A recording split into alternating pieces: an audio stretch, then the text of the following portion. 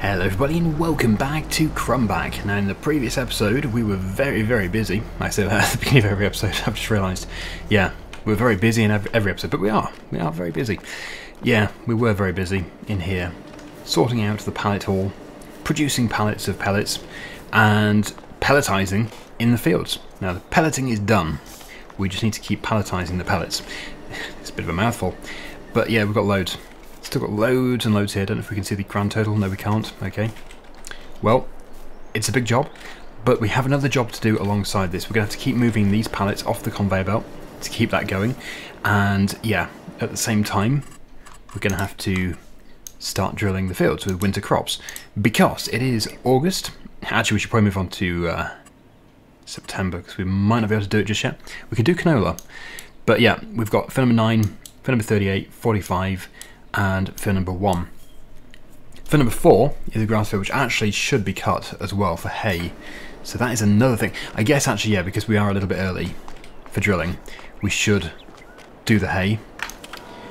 But yeah, first things first, we've got to remove these pallets from the conveyor belt because, as I said, it actually stops the system. Well, it will do when that next pallet has been produced.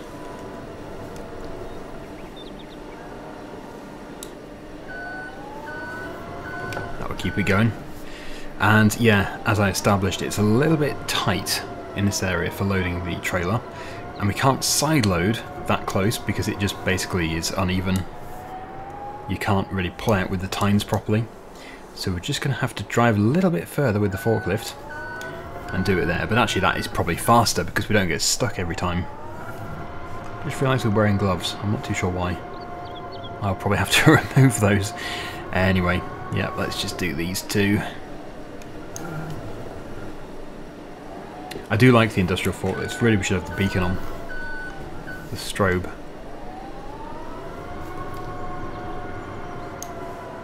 This is just the one that the store owns. I've sort of stolen it, but we'll give it back. We're borrowing it. For free. Bit naughty. They haven't noticed. And I'm not going to keep driving around the other side. We'll do this side and then we'll spin around with the tractor. Ah, no. It's one of those ones that gets stuck. I hate it when that happens. Yeah, that's such a pain. Ah! Sorted. Right, so we just have the telehandler. Oh, crikey, there's another one. Right, we'll do that.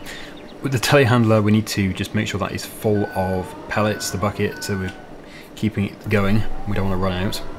What I'll do is I'll keep time-lapsing doing this loading as well, between mowing. Ah, joy. This seems to be uh, a common occurrence. There we go. The forklift can have a rest, but the telehandler can't because that hopper is actually empty. It's taken a whole lot. Crikey. Still looking to get a bigger bucket for the telehandler. It's always very useful and it's like a hopper extension because if you leave it full in the tip position it just extends what the hopper is holding because it will take it when it requires it.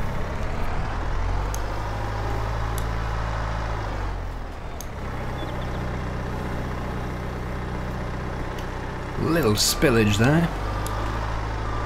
We'll get that cleared up. But yeah, we're going to have to get the Massey Ferguson going. Actually, would it be the Massey Ferguson? Yeah, I guess it would be. With the mower. Should be a sufficient tractor.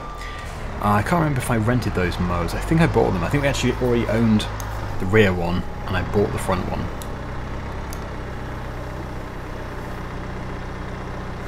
A couple more. And the last one.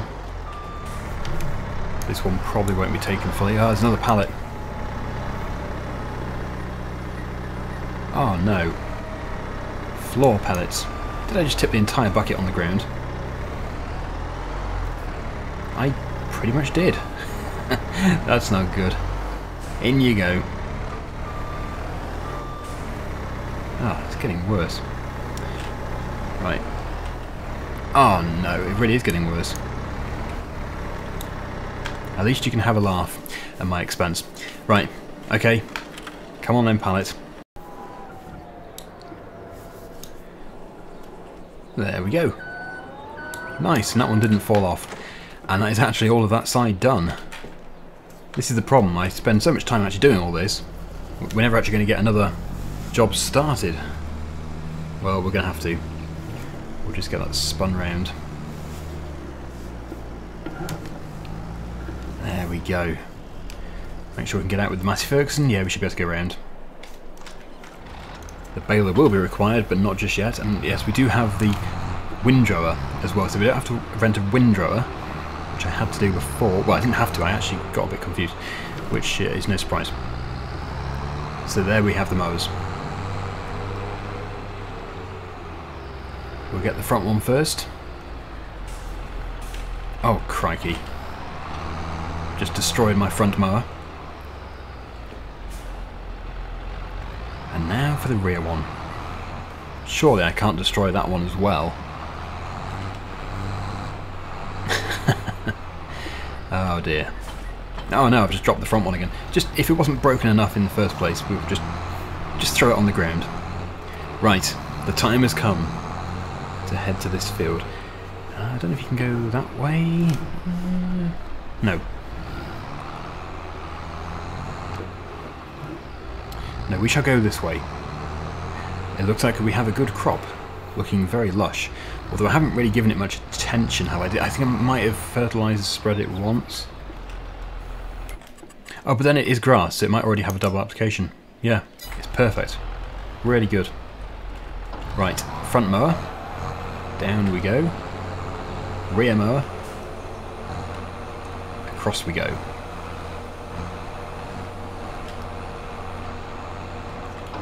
Nice. And I guess we should get as close to the boundary as possible. But we don't need a swath because, yeah, it needs to dry. This is going to be hay, not silage. Actually, this feels kind of weird. I should be going the other way around the field. But the tractor can run it fine.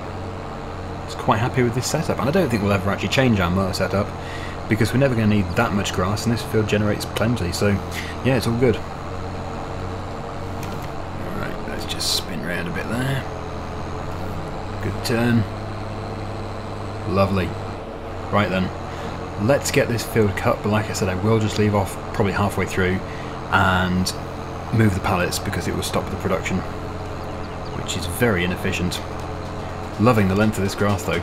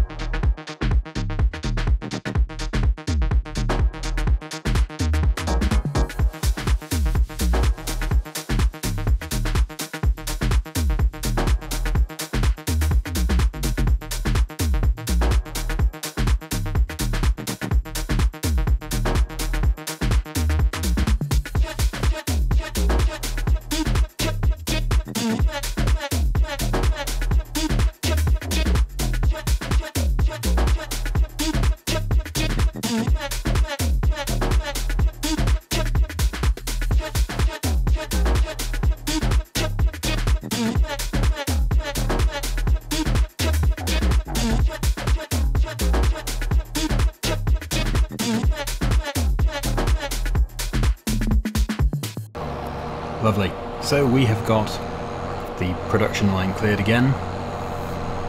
Get three more pallets produced and we should hopefully get this field done in that time.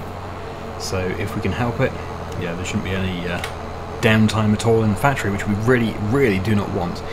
Uh, it's actually funny because when you sat there waiting for those pallets to be produced, they're really slow, but it looks like you can actually produce three in no time at all. Uh, anyway, yes, we'll give us a bit of time for the grass to dry just me role playing there. Of course, we'll have to get the tedder to turn it all over and let the sun bake the other side. Then we can bring our windrower in. Maybe it's actually worth buying a tedder. I'm not too sure if we. I don't think we have one. I don't know. Uh, no, we'll probably buy one. But at least we don't have to get a windrower.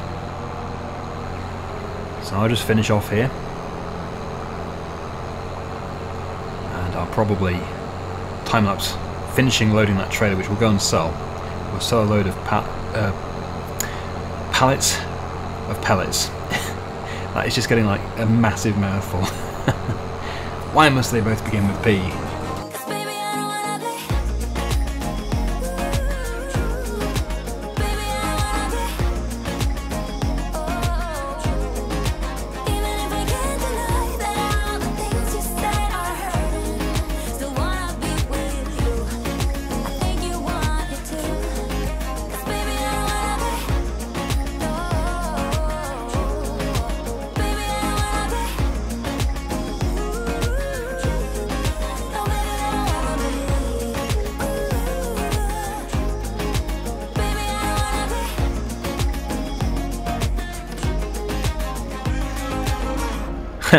We actually could get three across, but no, we won't. We won't push it. Anyway, I just wanted to leave this little bit for now, just so I could show you it in real time. It's very satisfying, I find, watching the very last piece being mowed. Just like when you're harvesting, watching the last bit being fed into the combine, especially if it's the last field of the year. Uh, but there we go. Done. Lovely. Fold that up. Fold that up. Nice. So, yeah, we're still going to keep using the Massey Ferguson tractor for all of the field operations over here. So we are going to have to take the mowers off. Uh, I'm just wondering how I can actually get around bringing the tedder back and selling the pallets. I guess we could just put it on the front of the tractor. It should work. I think the uh, the Fendt has got a front three-point linkage. So, yeah, it should be fine.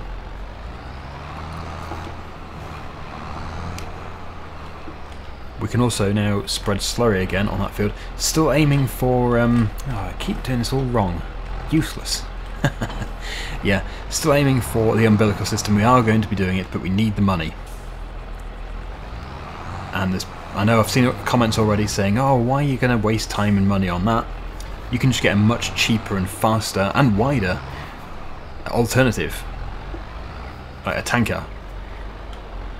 But no, I don't want to do that because it's boring. I want to do different stuff. The umbilical system is fun. It's not all about money. So, yeah, we'll just leave that there for now. We'll get into this tractor. We must empty this trailer. Actually looks like we have about half what we had in the previous load because I've stacked it differently. But yeah, not to worry. It's not too far to go. We've still got 20,000 litres on board. That's not bad. Very good. Okay, I'll see you over at the sell point.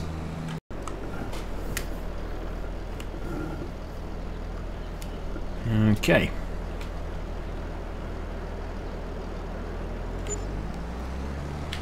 oh no, missed one. Well, still good. Come on pallet, slide across. We have £58,000, so I think, yeah, about £18,000 there. Pretty good. Now we mustn't forget the tedder. As I said, I think we're going to buy it. It would make sense. So, tedders, tedders, where are the tedders? There are the tedders. Uh, ah, we do own one apparently. It's not the one I want though, so that, that does need to be sold. But where on earth is it? I haven't even seen it. It must be lurking in the shed. If I just really quickly tab through these, there it is. It's there somewhere.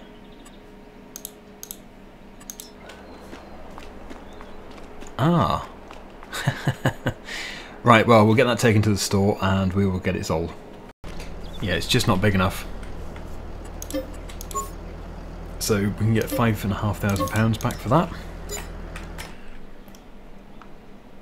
It all helps. We don't need to get the biggest. Crazy that that's only 0.3 meters wider and it takes twice the power. Crikey. Um, it's only £500 more. uh, yeah, I'm still really tempted to go with the Vicon, so I will do. It's not that expensive. I can stick that on the front. Just going to have to lift up my pallet fork. Uh, there we go.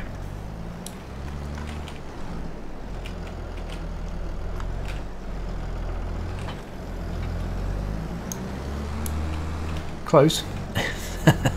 There's not much space with the front loader. It's all quite compact. Okay then. We're to have to go and clear those pallets again. But then after that, we can do the tedding.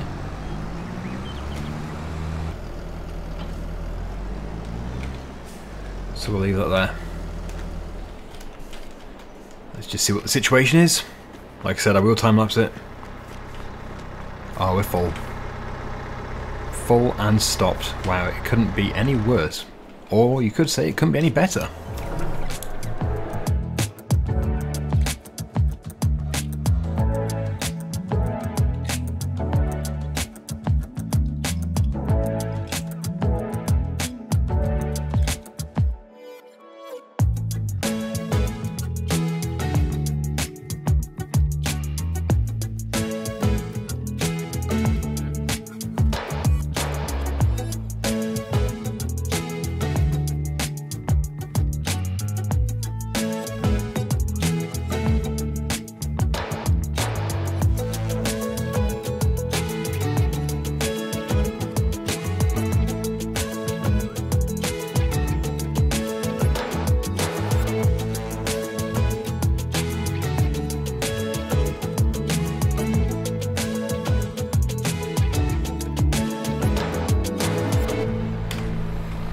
And here we are with the Tedder.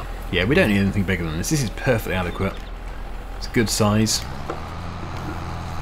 for this sort of size field and for there only being one field. Yeah, we'll get this done in probably four minutes, maybe five. Makes all the difference.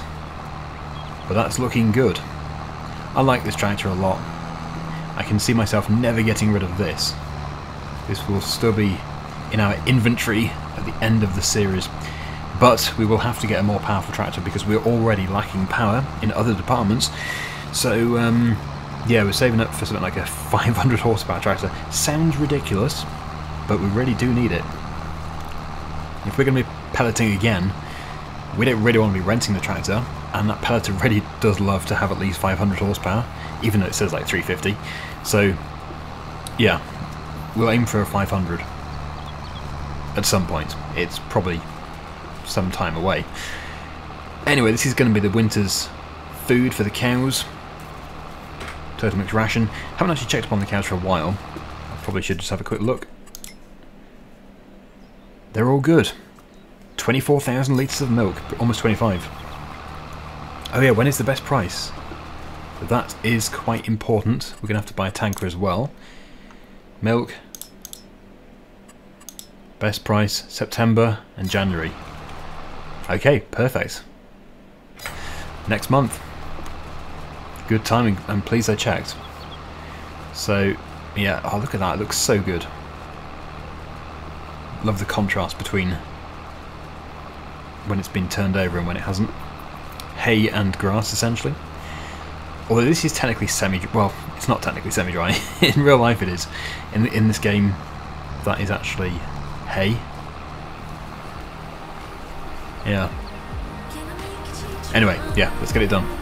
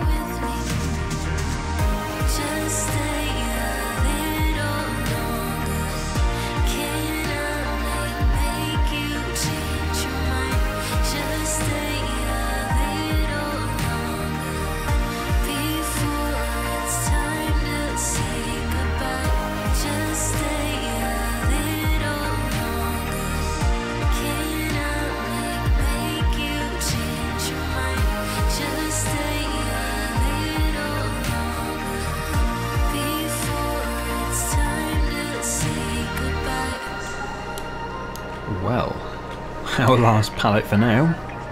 More being produced over there though. And just a tiny amount of pellets left in storage, so we've actually almost finished. Hard to believe, that's two whole fields worth of straw pallets, almost fully palletized. Yeah, if you do another job at the same time, you soon get them produced. Right, let me just get back into that telehandler. This is the final bit I wanted to show you. I didn't want to empty this in a time lapse. I think we should empty it. Yeah, 56%. And looks like there is space in the hopper for that.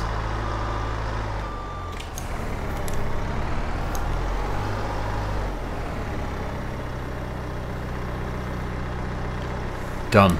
Okay, so we just wait for those last pallets to be produced. Didn't seem too bad in the end. Now we actually could make hay pellets now if we wanted to from this field, but no, we, we do need the uh, the hay bales ready for the mixture. You probably put, can you put hay pellets into the mixture? You probably can do, but yeah, I don't really want to. It's just not necessary. Let me just uh, check that. Mm, maybe not. Maybe you can, I don't know. Never tried it. Don't really want to, even if you can. Palletizer refill with four bags due to saving sink. Okay. Good to know. right, let's let's do this. Let, us finish this field. I'll have to have a look into that in a second. So we'll leave this field just to bake a little bit more between this episode and the next one. Yep, that's me role-playing again. Then in the next episode we will come into here with the uh, windrower, we'll row it up, we'll bale it, and we'll transport the bales on the flatbed trailer, on the low loader, to the cow farm and we'll put them into the shed. And probably while we're over there, we will do another mixture, total mixed ration, and of course we will take out the uh, the milk. We'll, we'll empty the milk out the tank and we'll sell that. Because we should have a fairly good price.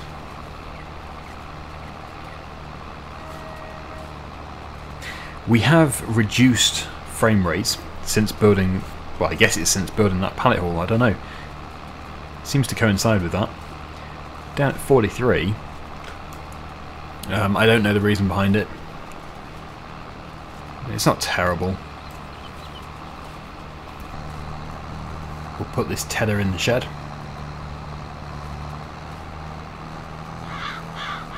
Out of the field, birds. Not your field. Well, they shouldn't find too much in our hay. It's not like when you've just drilled a field with seeds and they come along and eat all the seeds. Lovely. Yeah, no idea how many bales it's going to produce, but quite a few to guess because that was fully fertilised. Yeah, we'll probably put this into the shed at this end.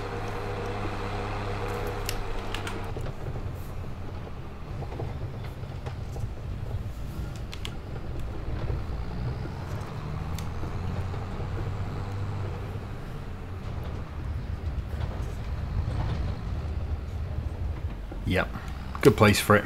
We've got the windrower here, so we can... Actually, we can attach to it now. Nice.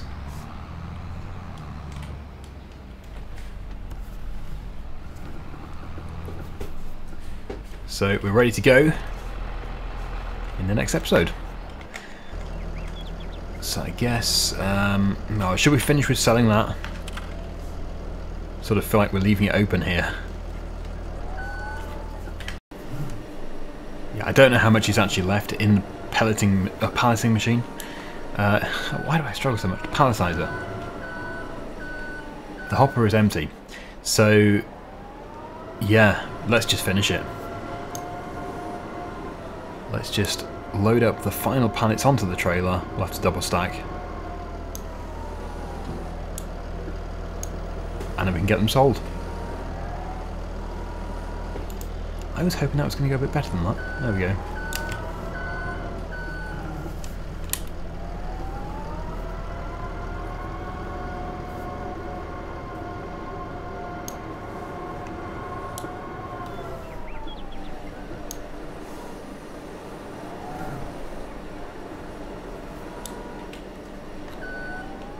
Should be at least one more pallet.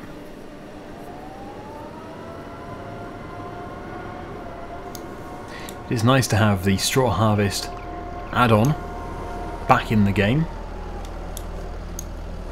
I've always enjoyed it. Uh, this is going to go badly wrong.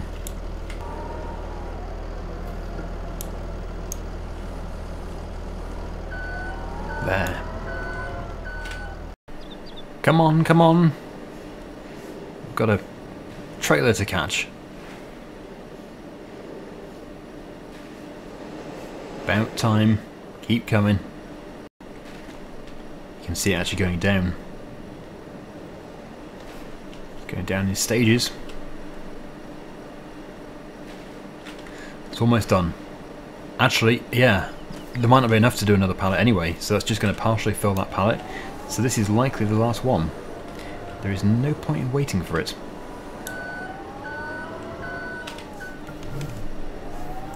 Guess there's a chance.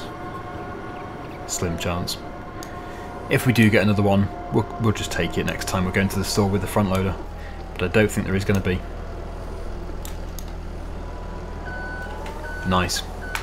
And it would be good to take the forklift back too, but the trailer is a bit full, so that would just have to go back another time as well. 24,000 litres. Let's get them sold. Well, it's been quite a big episode. It's been worth it. And, at the end of it all, we've managed to get quite a bit of money as well. So we've bought a tedder. We had no money at the beginning of selling uh, pallets in the previous episode.